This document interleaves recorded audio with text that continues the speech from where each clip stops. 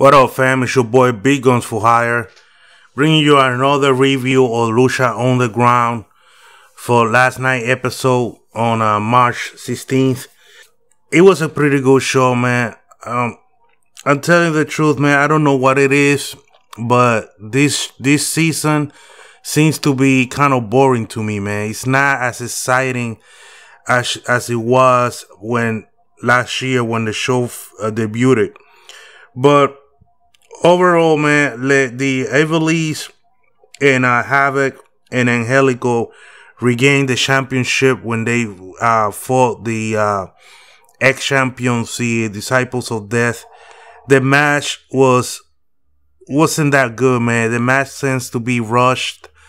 They didn't really um the the uh, and Angelico and Havoc they they pretty much dominated the match and uh and I just don't think it was it was a good match, man, because these guys, that these disciples, supposed to be like the the uh, version of Mil Muertes, and they didn't really dominate it, man. They they was it, they got they got they got punked pretty much, and I, I just didn't like the match. Um, the second match was Tejano versus Chavo and on a on a, a, rope match or Texas rope match, it was pretty boring, man. To tell the truth, I, I wasn't really impressed with the match.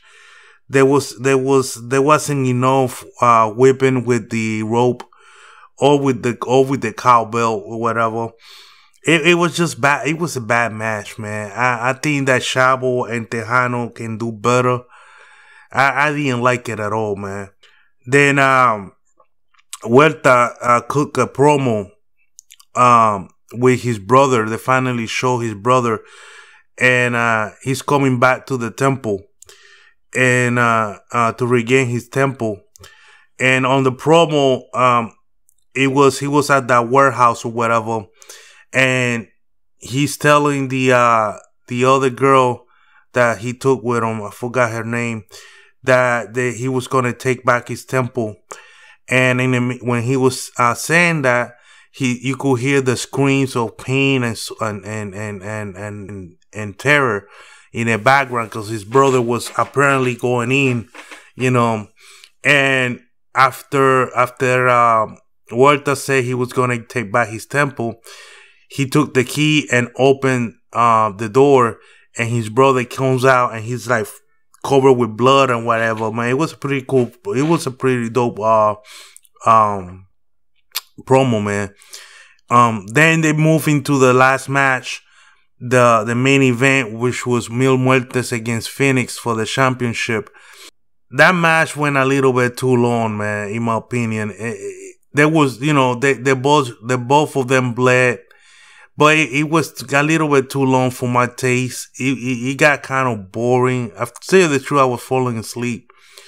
Um, it was okay, man. I, I, I, I mean, you know, like I said, they both bled, but I don't know what it is, man. It just seems to me that this time around, the wrestlers are not giving up a hundred percent. It seems like um, I don't know if, if, if it's that I'm, this time around, I'm watching it with more of a critic, critic eye that I did last year. But it just seems kind of stale to me. You know, Fenix wins the championship. And, uh, next week, he's going to have to, uh, put the championship on the line when, um, when they're to go into that 20 man match, uh, their version of the Royal Rumble, I guess uh, where he's gonna be the first wrestler. Uh, but uh, uh Mil is gonna be the the twentieth wrestler. Um, Rey Mysterio is gonna be part of it. The guy that Rey Mysterio is training is gonna be part of it.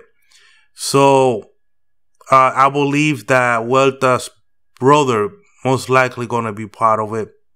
So we'll see, man. I I I I can't wait to see. Hopefully like I say, Cueto's uh, brother will be part of it, and because I'm eager to see what he can do. Anyway, man, that's it for my review. Thank you for watching. Make sure you hit that subscribe button. Make sure you hit that like button. And um and make sure you share the video, man. Help my channel grow, man. Everyone that have been watching and supporting my channel, I thank you for the bottom of my heart, man. Thank you very much. And uh, until next week, man, when I'm gonna give you guys a review of whatever Lucha Underground uh, 20 man match will be. Peace and um, till later, man. Adios.